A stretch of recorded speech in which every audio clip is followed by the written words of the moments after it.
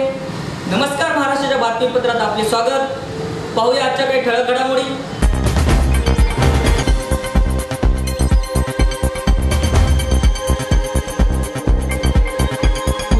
मनसेच्या वतीने वाळू चोरीसाठी अर्धनग्न आंदोलन.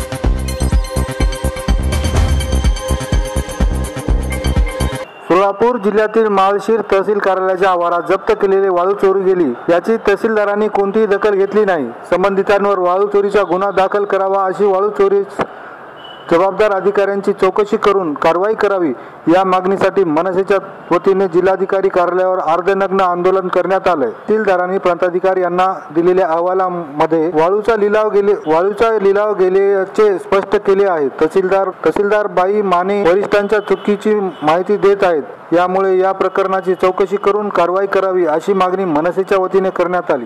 आज आम्ही माळशिरस तहसील कार्यालयामधील वाळू चोरी प्रकरणासंदर्भात गुन्हा दाखल व्हावा. तसेच या प्रकरणाला पाठीशी घालणाऱ्या अधिकाऱ्यावरती निलंबनाची कारवाई व्हावी या मागणीसाठी सन्मान्य जिल्हाधिकारी साहेबांच्या कार्यालयासमोर अर्धनग्न आंदोलन करीत आहे. या प्रकरणाचं सविस्तर वृत्त असं की एकवीस मे ते चोवीस मे दरम्यान त्या ठिकाणी वाळू चोरी झाली. आणि नंतर त्या मॅडम आम्ही त्या संदर्भात अठरा जुलै दोन हजार सतरा रोजी प्रांत कार्यालय अकलूच्या ठिकाणी थाळीनाथ आंदोलन केले. त्या आंदोलनाची दखल त्या ठिकाणी घेतली गेली नाही. त्या आंदोलनाच्या संदर्भात माळशिरस तहसीलदार यांनी अहवाल दिला की वाळू चोरीला गेली नाही. परंतु आमच्याकडे ते वाळू चोरीला गेल्यानंतरचे आणि वाळू चोरी व्हायच्या अगोदरचे फोटो पुरावे आहेत. आणि त्यांनी आम्हाला त्या अहवालामध्ये सांगितलं की लिलावाला अडथळा येतोय म्हणून आम्ही ती वाळू शेजारी ढेगाऱ्यावरती टाकली.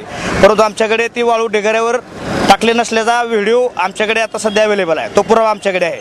म्हणजे सरासरी या ठिकाणी बायमाने या तहसीलदार या प्रकरणा प्रकरणाला पाठीशी घालत आहेत. आणि वाळूचोरीचा गुन्हा या संदर्भात दाखल करत नाहीत. त्यामुळे आम्ही या ठिकाणी अर्धनग्न आंदोलन करण्याचं सुरुवात केलेलं आहे. या ठिकाणी जरी आमची या प्रशासनानं दखल घेतली नाही तर आम्ही येत्या एकतीस ऑगस्टला मंत्रालयावरती उघडे नागडे आंदोलन करण्याचा निवेदन सन्मान्य मुख्यमंत्री आणि महसूल मंत्री यांना कालच देऊन मुंबईला आम्ही आलेलो आहे. सोलापूरहून शबरोज शेखसह ब्युरो रिपोर्ट. नमस्कार महाराष्ट्र.